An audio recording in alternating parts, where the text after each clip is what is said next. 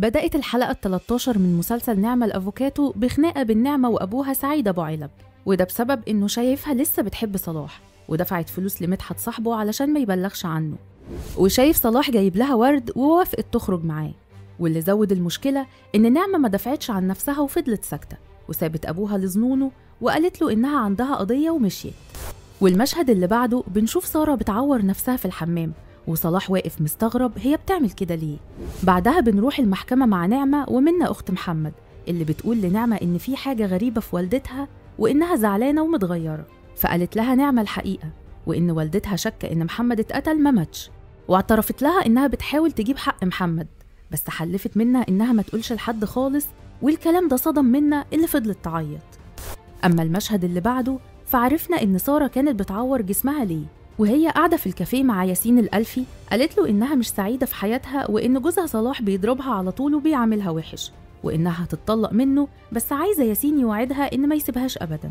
وطبعا ياسين عامل عليها لعبة مع نعمة وبيضحك عليها. وفي المحكمة بنشوف نعمة واقفة تترافع وقصادها مين؟ المحامي الكبير وأستاذها خالد الأشقر. وكسبته نعمة بشطارتها وذكائها. وبعدها راحت له المكتب بتاعه علشان تصالحه. وفضلت تصالح فيه وتناقشه لحد ما تصالح وقال لها إنه استلم فلوس صلاح ومش عايز يديها له إلا لما يقول لها. فطلبت منه نعمة إنه يديها له. والمشهد اللي بعده صلاح راح الشركة لياسين الألفي وقال له هو أنت ليه بتعجب بمراتاتي أنا بالذات؟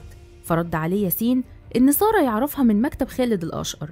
ونعمة اترفعت له في قضية وكانت شاطرة جدا. وإنهم الاتنين محترمين ومش المفروض هو اللي يقول عليهم كده.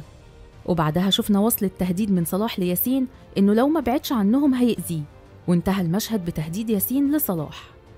بعدين شفنا نعمة في قهوة الست محروسة وجالها بعدها ياسين وحكى لها اللي حصل بينه وبين صلاح.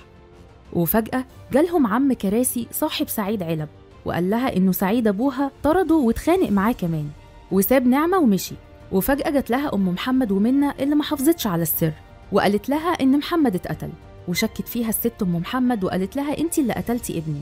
فاضطرت نعمة إنها تغير كلامها وقالت لها إن ده مش حقيقي وأنكرت كل حاجة قالتها لمنى بعدها راحت نعمة لأبوها وصالحته وحكت له إنها مستحيل ترجع لصلاح وإنها زعلانة منه إن ظن فيها سوء لأن عمرها ما ترجع لصلاح أبدا.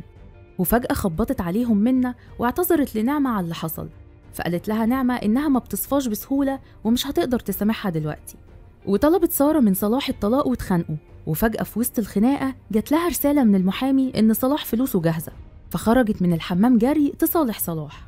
وراح صلاح واستلم فلوسه من خالد الأشقر وبعدها كلم خالد نعمة وقال لها إنه خرج من المكتب. وبنشوف عربية وبودي جاردات خطفوا صلاح وراحوا بيه مخزن مهجور.